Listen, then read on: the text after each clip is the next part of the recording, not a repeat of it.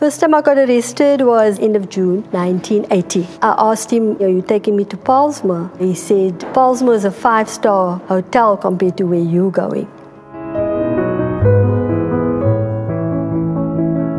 I didn't choose journalism. Journalism sort of chose me. I used to work from five in the morning because there were big stories going on. There was the bus boycott, there was a meat strike, the schools boycott. It was a huge thing, you know. But I wasn't aware of all this. I was just excited, you know. You have to be interested in people, feel for them, you know, because I do feel it's about helping and it's about giving voice to people who can't extend their voice.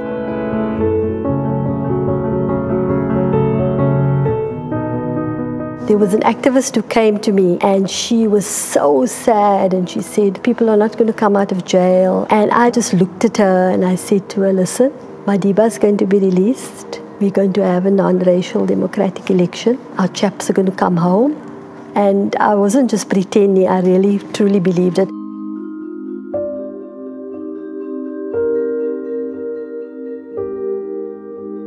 I was detained in the middle of the night. And of course, then I really saw horror, you know.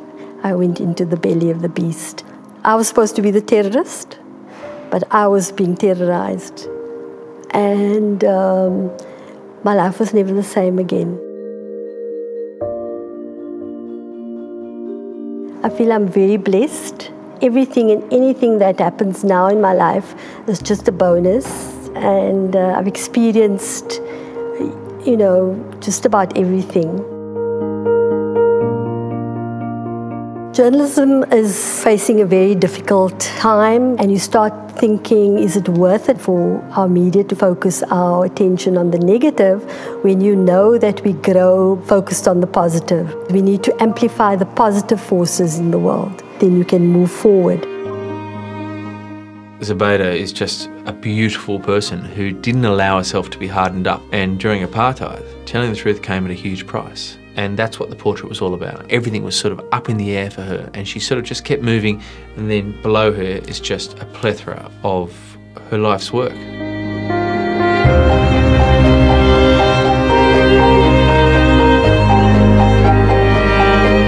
I've got many identities, but I'm not prepared to accept that I'm one thing only. So my biggest thing is with students to make them have the confidence to understand that they are bigger than the little areas that they come from and that they are smart and beautiful.